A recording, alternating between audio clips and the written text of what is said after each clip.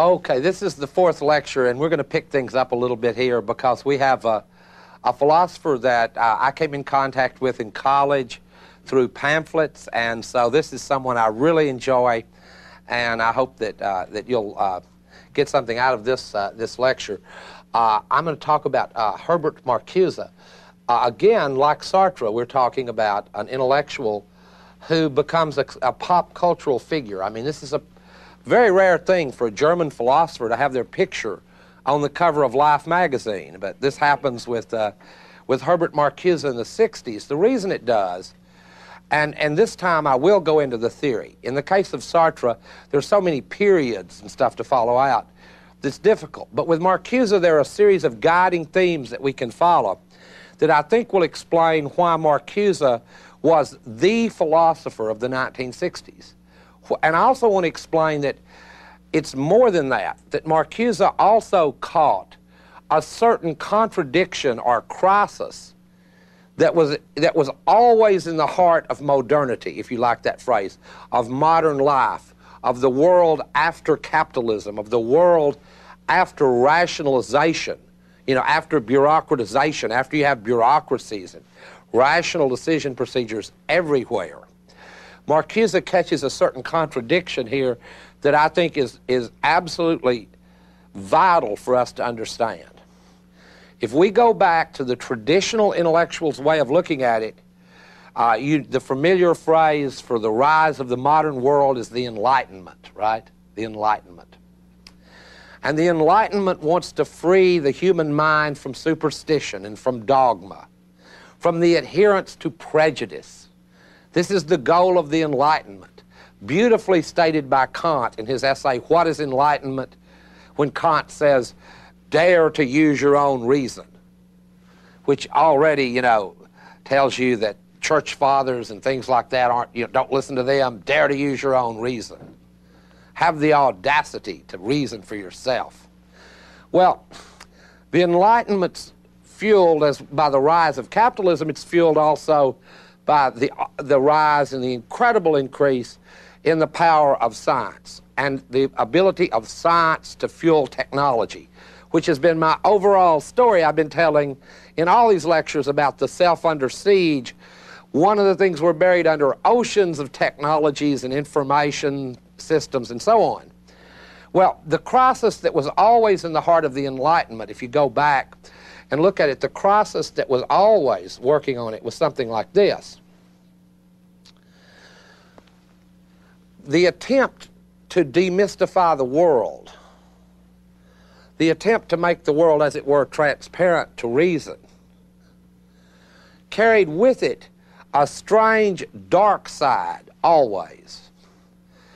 And you may notice this when you watch television now the more we, as it were, cleared the fields of the traditional religious views, the more that we became convinced that science, and, I, and, and one term for that Marcuse uses is instrumental reason. Reason used as an instrument for changing nature and human beings. The more that the Enlightenment project progressed,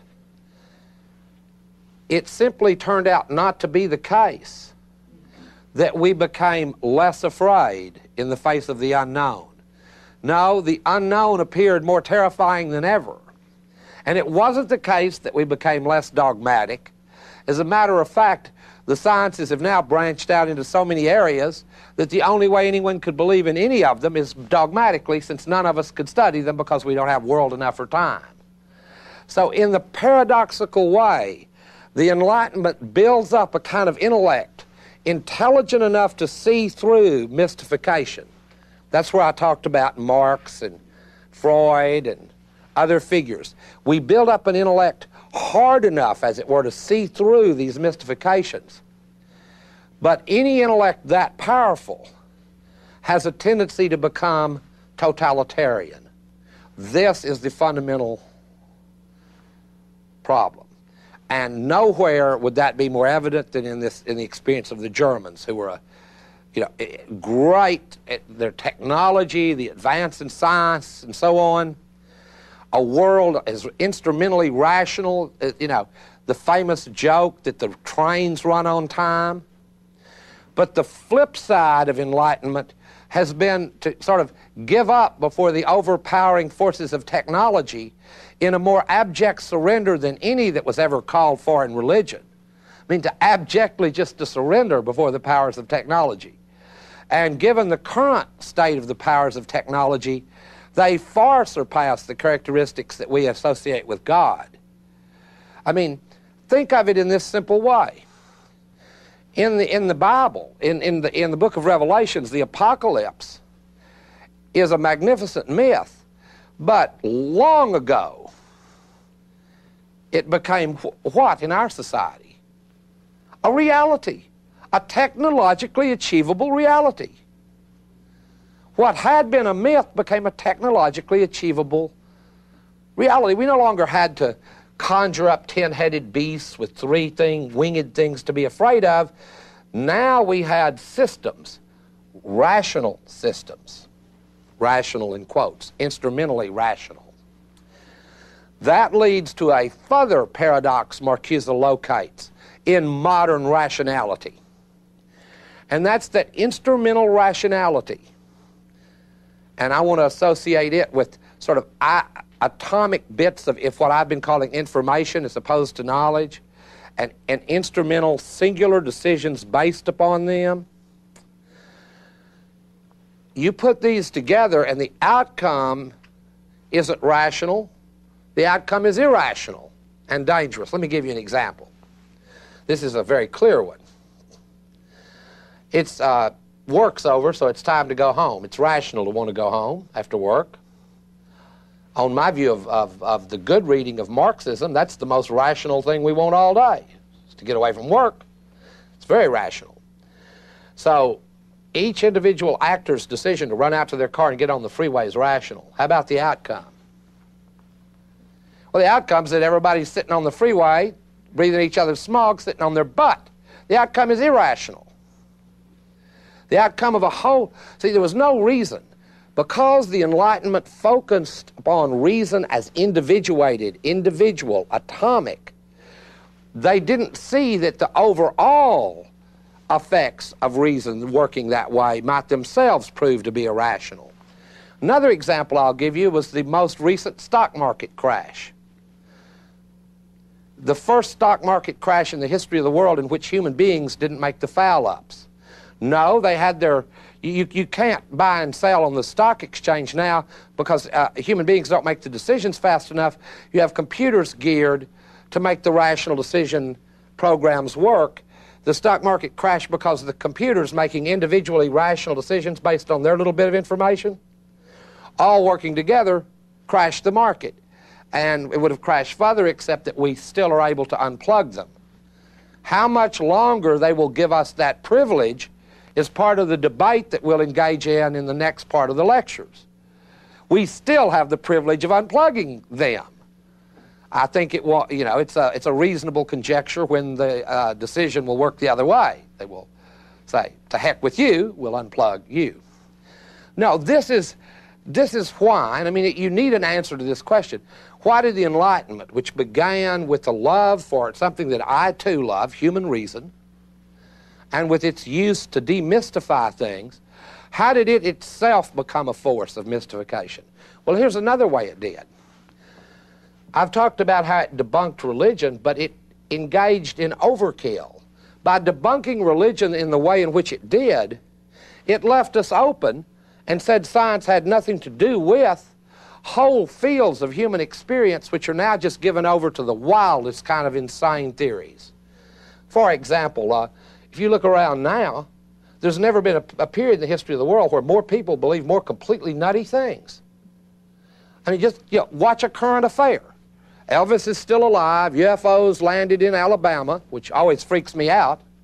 I mean, how come if intelligent beings from another world are going to land somewhere, they don't land in Chicago or Washington, but always in Alabama next to Uncle Billy, you know, who's sitting there going, well, I saw him right over there. It's no. Land in damn Chicago if you're really a higher intelligence. Land somewhere where somebody can take a picture of you or something. No, they always some backwater in Alabama or Mississippi. Anyway, uh, UFOs, uh, poltergeists. Uh, oh, see, you couldn't even list all the all the uh, the myths in a, in a year. Why? Well, because science marked off this terrain of reason, but outside it, it pays no attention. It gives no guidance. Why are there things outside of instrumental reason at all? That's the theme of the whole course.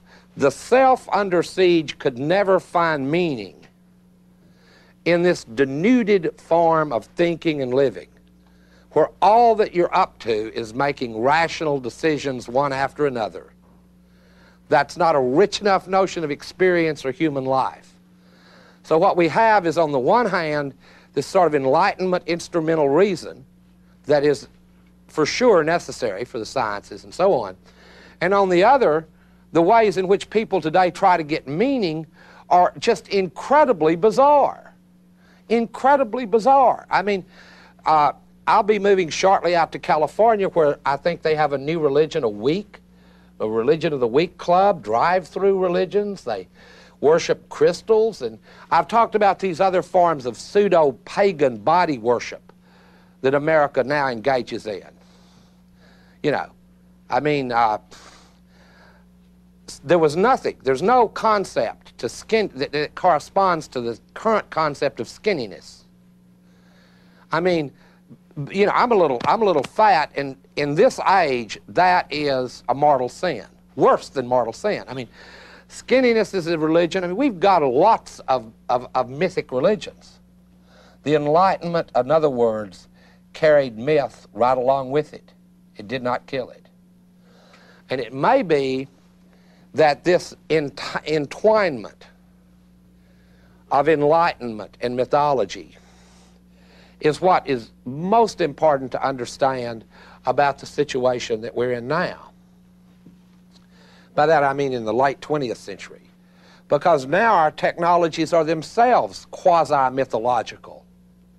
Virtual reality. You know, you, you have a movie about virtual reality, a guy gets in a suit and enters a world of neural networks and goes, I am God here. You know, this is, this is pretty pagan stuff except for one small thing. They can build these things. You know, otherwise, we'd, we'd be laughing about it, except they can build them. And if you don't believe that, they, that the first replicant or cyborg they build will be Elvis Presley, you're already wrong. You know there'll be a lot of money in rebuilding an Elvis. The first cyborg, I, I predict today on film, I'll be captured for the ages, the first successful cyborg will be Elvis because you just have him right back to King, and probably there'll be a national vote on whether we want to build the young or the old Elvis. I mean, so that, that's the funny part. The unfunny part is that I, I do believe this entwinement of myth and reason is very real. A film that's a classic film that shows it is Doctor Strangelove uh, wonderful performance with Peter Sellers. Great movie. If you haven't seen it, please see it. Directed by Stanley Kubrick, in which one of the most famous examples of rationality under this heading occurs, and that's the arms race. Both sides keep building and building and building and building and building, and every move by one side calls forth a rational move by the other. The only problem is that if it continued, the outcome would not have been rational. Far from it. Far from it. The outcome would not have been rational. Uh, so that's, uh, mm, sorry. That movie captures that nicely. And uh, let me see if I can come up with one other example, because there, there, there are many, many of these. Uh,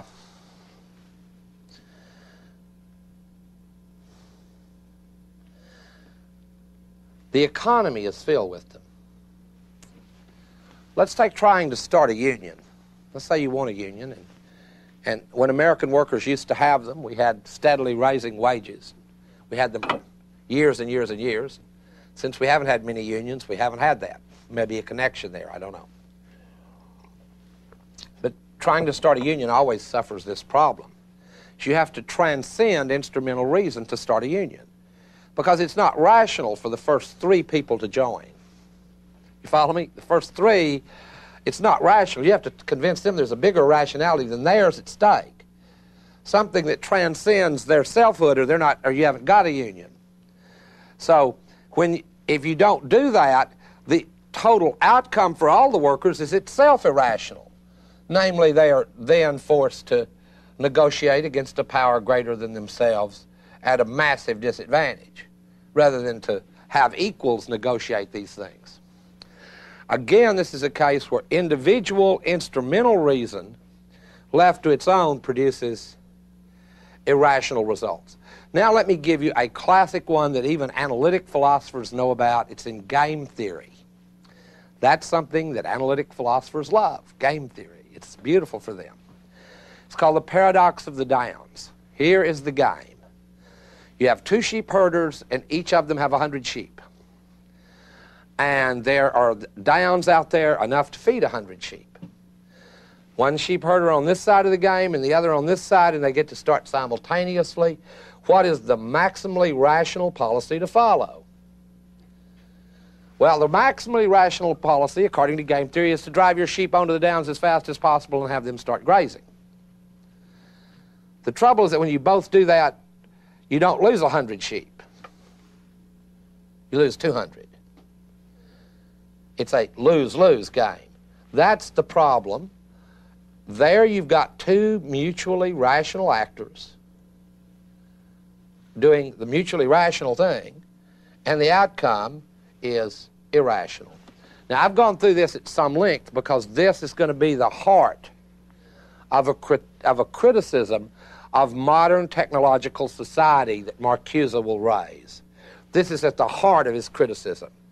It is not his criticism that our society should just throw away instrumental reason, should just give up on thinking scientifically. That's not it at all. It's that if we don't find a more balanced approach to ourselves, the world, other people, than instrumental rationality, we are lost. So let me run through just a little bit of his basic argument. If you wanted to break it down into uh, so-called worlds, you'd start this way. The inner world we've already discussed, that inner space of the self that Descartes thought he knew all about. Well, we've already discussed the pathologies that arise in the inner self through its contact with what you might call modern life. Uh, and of course, you do that when you study Marx, Freud, and Nietzsche too. But you also do it. We also did it earlier uh, when we discussed uh, uh, Heidegger and Sartre.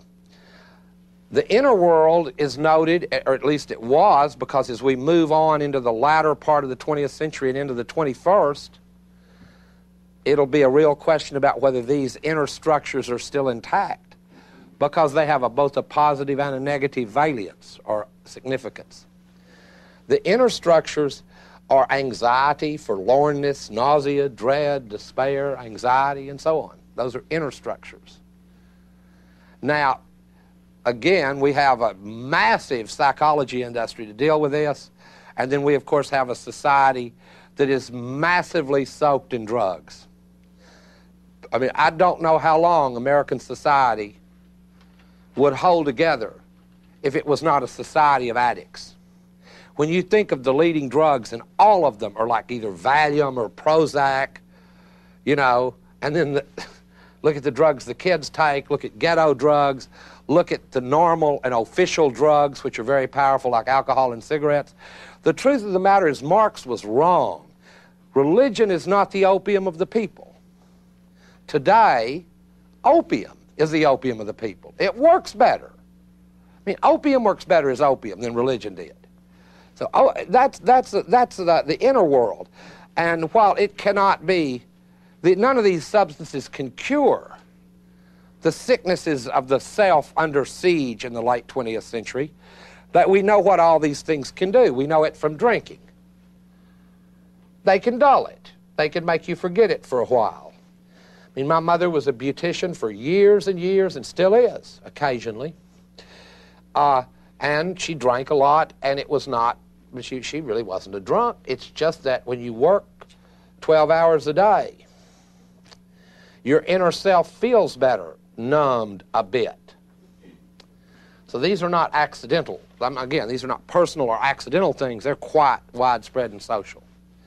Uh, a writer about whom you might be interested, who I think, even though he's a little crazy, is a good novelist about the society being a society of addicts, is William Burroughs. And uh, Naked Lunch is a very strange book, but it has at least one thing going for it, and that's that it shows us as a society of addicts, which I think is, is not entirely unfair.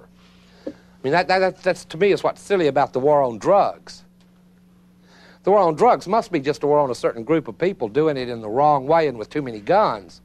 Because, I mean, I look, sit there and look at the pharmacy and what's going out of it, and I don't know that many people that aren't stoned on something. A handful. And they're, they're, what are they doing? Well, they're out eating soybeans and jogging, which I consider even sicker. I mean, if you're doing that, you really need help. I mean, that's when you need to be put on drugs, is when you're out there on, you know, jogging and eating soybeans. You need the damn drugs. Okay, that's the inner world, and I and, and for the existentialists, this was a this was what they focused on was some of these inner world problems. In the so-called social world, the problems are, and I'll lay them out, and I'll use some of the Marxist terms: alienation. Now, alienation in the Marxist sense is a kind of feeling of separation that is not just a mere mood; it's a structure. It's a separation from your object that you're producing if it is an object. And nowadays in our economy, it's probably not an object. You're probably not doing a damn thing. So then you'd be alienated from nothing. But let's say you're producing a product. It's separation from that product, lack of control over the process of making that product, lack of meaning in making it, and separation from other human beings that come along with that. In short, what Marx means by alienation is the way the relationship between work and money separates human beings from each other, which to me is true, and it, Jesus knew it, and most people that know much about money know it. True. It you know, doesn't mean communism's true, it just means that that stuff about money is, is right. Rationalization. This is a big word. I'll try to demystify quickly for you. Rationalization there's a great social theorist you could read here. That's Max Weber. Tells a lot about how the more complex governmental and, and private enterprises get, the more they need to bureaucratize and rationalize. But if you really wanted a sense for it, I would tell you don't read Max Weber, read Franz Kafka. Because when you read The Trial or The Castle, you get a real sense for what a bureaucracy feels like. For a world rationalized and the outcome being irrational. See, no one likes bureaucracy either. I mean, you know how it feels. You go, you know, you, you, your income tax return didn't come, so you've got to go get one. They say, well, go to room 107. And you just left room 100, and you show up in room 107, and they say, well, you didn't pick up Form B in room 100. Who did you talk to?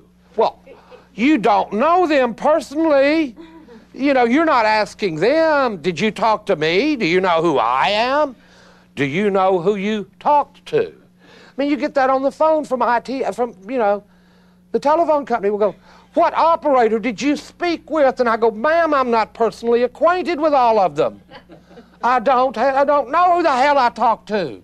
But no, this is the Kafkaesque quality of life as we emerge into the 21st century. You know, it, it, it's an adventure to get your, you know, your water hooked up. It's an adventure with madness like this, with utter madness. And we're here, you know, very close to Washington, D.C., where I don't need to explain this at all.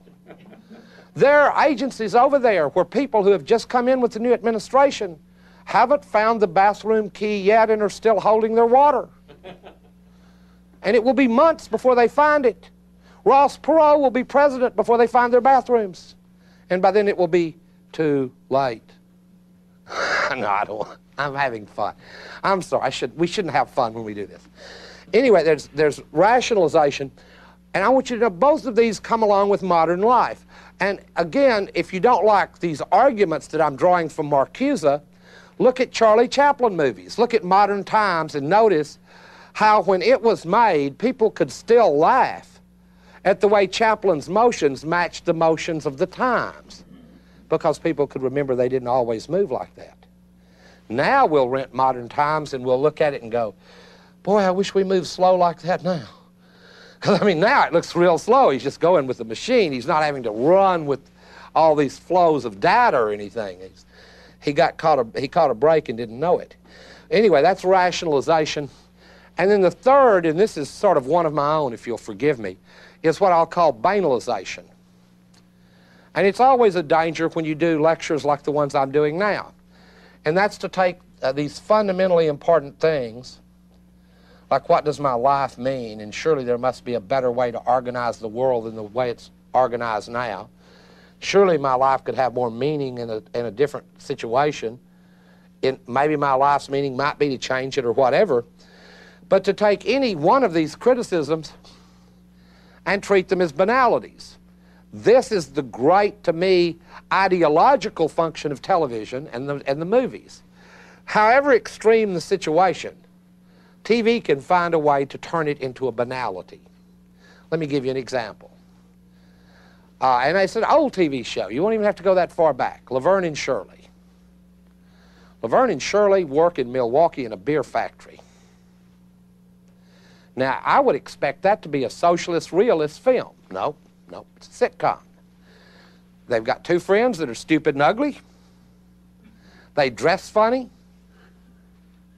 Their life is shit, if you'll pardon the expression.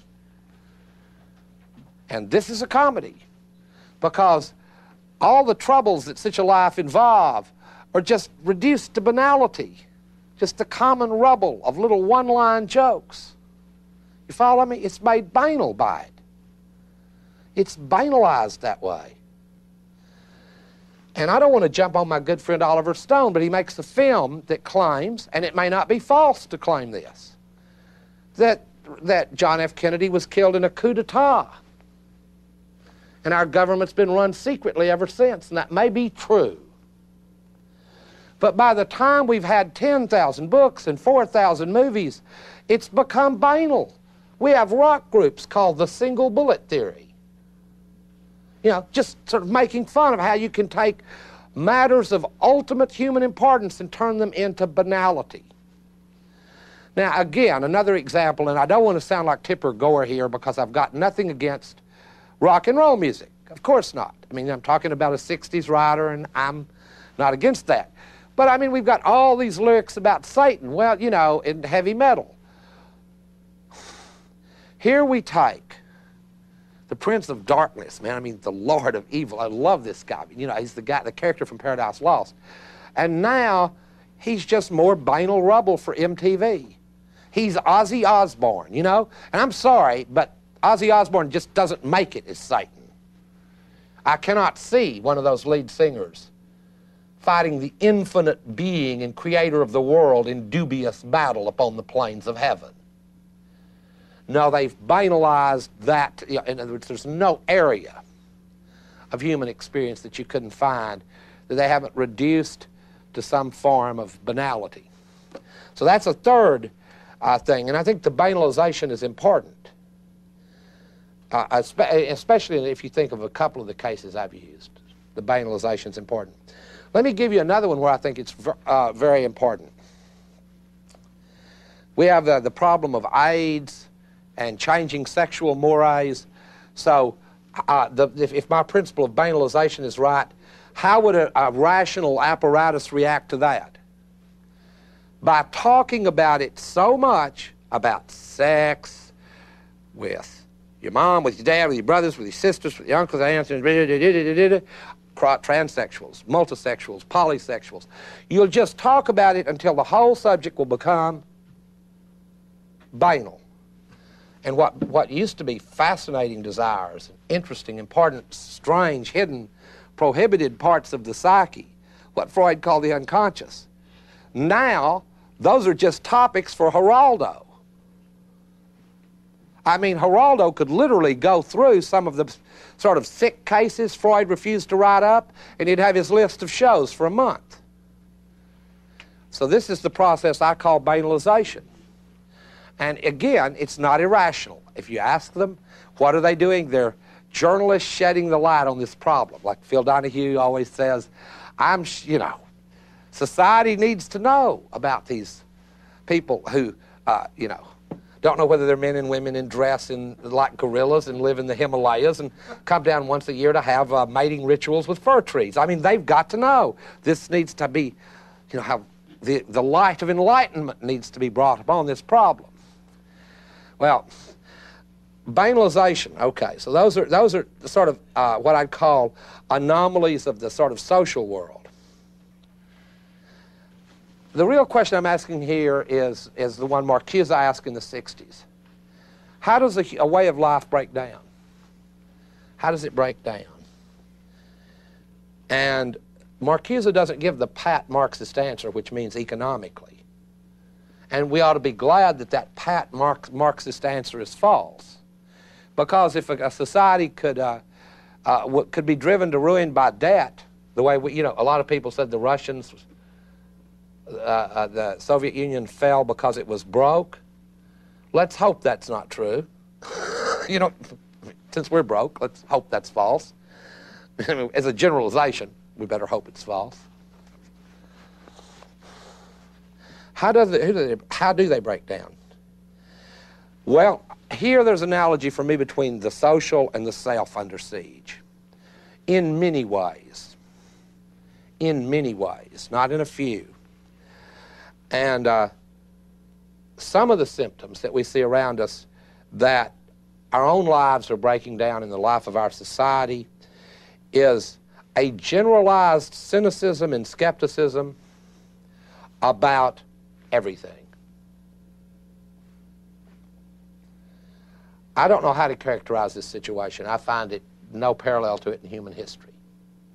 The skepticism and cynicism about everything is so general and I think it's partly due to this thing I've called banalization, and it's partly due to the refusal and the fear of dealing with complexity. Much easier to be a cynic than to deal with complexity. Better to say everything is bullshit than to try to look into enough things to know where you are. Better to say everything is just silly or pointless than to try to look into to systems of this kind of complexity, into situations of the kind of complexity and ambiguity that we have to deal with now. So anyway, that, that's one way in which a society can break down. My own view of the United States government is that it has no legitimacy now in the classical political sense. That means it is not supported by a democratic majority of its people. It has no classic political legitimacy. I mean, I take that to be an empirical fact. I bet you could probably do a factoid on CNN about it and banalize it. You go, oh, well, big deal. So what? Well, so what? You, got, you don't have a damn democracy. Uh, you've been lied to since you were born. Well, that's no problem. We're used to it. That's cynical reason at work. I mean, I mean, it's just utterly the situation that I think we're finding ourselves in. This skepticism includes the skepticism concerning history and this has not been a diatribe up here against reason. It's been a diatribe against instrumental reason. Clearly, the uses of a more comprehensive reason to try to figure out where we are would be important and could be used, but there's a general cynicism about it. Marcuse is an old-fashioned guy from the 60s. He still thinks, and I, I have no way to defend him now, too much has happened. Too many things have gone wrong.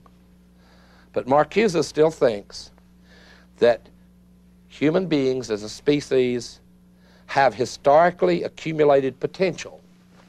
Over history, they've accumulated a potential to live a life with a good deal more freedom and a good deal more happiness and solidarity than the one they live now. In fact, Marcuse, unlike philosophers, is an unashamed advocate for this project. Philosophers don't enjoy being advocates for any positions that matter, usually, but Marcuse is, in this case, an advocate for this position.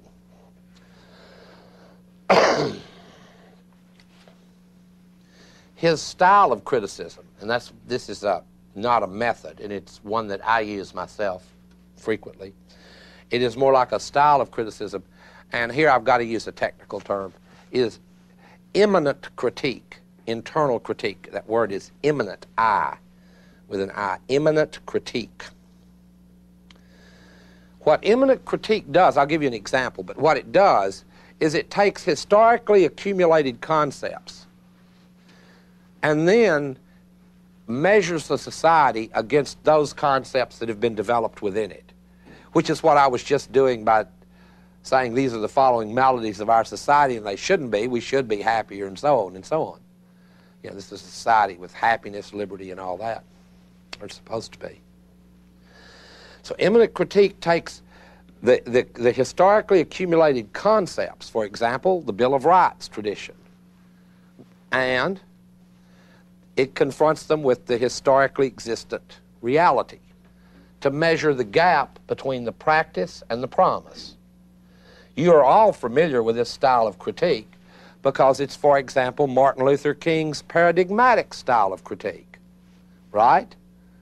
I mean, Martin Luther King was didn't say, look, I'm a Maoist. That's why we should have civil rights.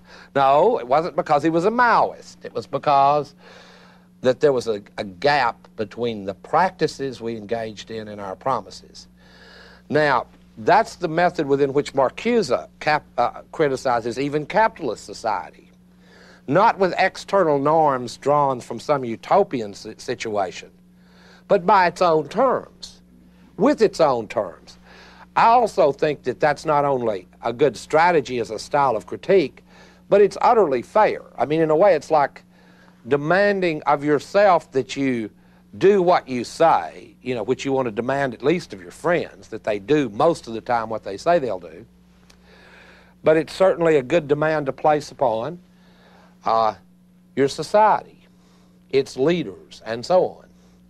The trouble is, is that just as I've stated before, we are blocked.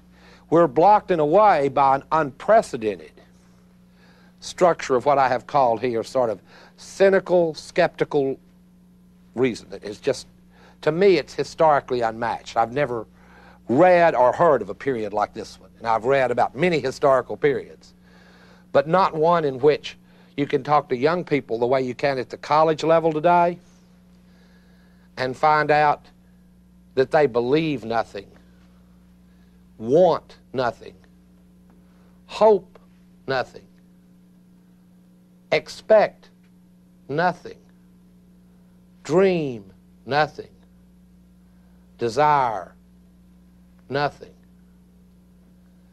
Push them far enough and they'll say, Yeah, I got to get a job. Spend a lot of money at Duke. That's not what I'm talking about here. They hope nothing, expect nothing, dream nothing, desire nothing. And it is a fair question to ask whether a society that produces this reaction in its young is worthy of existence at all.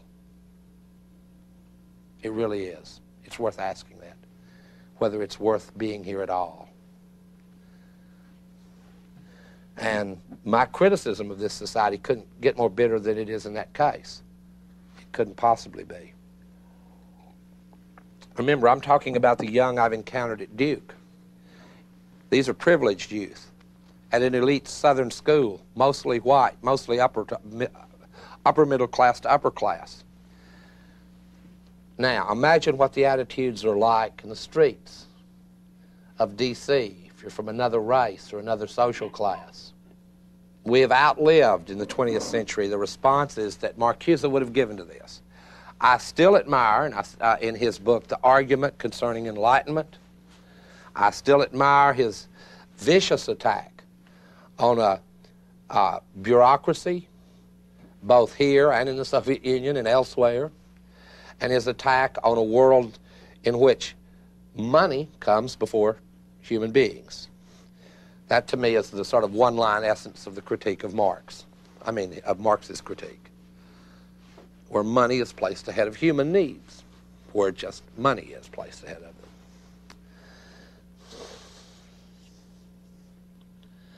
Marcuse still tries to defend, uh, as I say, freedom, happiness, creativity. He still believes in the truth. He still believes the human race has a happy destiny. I mean, I think that we have to look back at Marcuse, who at the time we looked at as a vicious radical. I think we have to look back at him as a kind of Norman Vincent Peale of the 60s. I mean, Marcuse wasn't radical at all by the standards of this world into which we have slipped by the late 20th century. No, he really does sound like Norman Vincent Peale at times. It's, it's, uh, it's almost uh, quaint if it wasn't so horrifying. Because his meditation and his, I'm not meditation, his theory and his view is about the destiny of the human race on this planet, about whether we will ever learn to make sense or whether we'll just keep making money and madness. It's a real big question. He never was able to answer it. But one of the reasons I wanted to raise it right in the middle of the lectures is I didn't want these lectures to turn into some kind of funky kind of Tony Robbins course in self development. Like, now I know who I really am kind of crap. Because when we're through, we won't know. I don't know. If I'd known who I was, I probably wouldn't have shown up. Now, I mean, you know, this is not, I mean, it's an important part, and it's not a cynical thing to say, but it's an important part of our, of, of finding out about the self in this part of the, in this part of history, that we don't have all the answers, that we have not even formulated all the questions correctly. In fact, Tony Robbins and people like him are a part of the problem themselves, their banalization. I love it when I hear someone say, I've listened to Tony's tapes, and now I used to be fat and unhappy, and now I'm skinny and happy. It just makes me want to cut someone up with a chainsaw. I mean, that's ridiculous. I mean, no, you know, that's not why humans think. They think because they have to think. It's, an, it's, it's, a, it's a felt necessity. It's the weight of the world, the complexity of it. And you can avoid it, I admit, with drugs, but at some point in your life you have to come across the need to think. Marcuse was, uh, comes from a period, and it's back in style, in fashion. I have to admit it. The 60s are back in style. Everyone, they probably will be out of style by the time these tapes are out, but people are back listening to Jimi Hendrix, wearing bell bottoms and tie dyes. I suppose you've noticed that. Of course, this would have nothing to do with banalization. well, of course it would. Because anything that's, that's a threat to this system can be banalized. I, I, I'll give you two examples in the sphere of politics. The way they turned Jesse Jackson from a serious social actor into sort of a banal caricature of himself in the media. They've banalized a real threat to the system, which was the Rainbow Coalition. A real threat, populist threat to the system, banalized into a joke. It's even sicker to realize this that if uh, something tragic happened to Jesse Jackson, there'd be a picture of him up next to Malcolm X and Martin Luther King in all our schools 10 years from now. No one doubts it. See? But now, while he's alive, he has to be banalized. This is, a, it is obviously a form of control. It's social control I'm talking about here. It's not a conspiracy. I mean, it's just something that happens in the process of a society working out its own internal logics in systems of incredible complexity. Banalization is a way to reduce complexity. It's also a systematic way to be an idiot. And I have to say this many of our complaints about the educational system fall under the critique of Marcuse as well, where we produce student after student in this condition I've described, which is not really despair because it's beneath that level.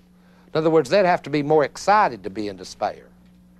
They'd have to be like more thrilled to be forlorn. Like they'd have to be in love with something before they could have their heart broken to make a more simple example out of it. No, it's, it's beneath that level. It's frighteningly beneath it.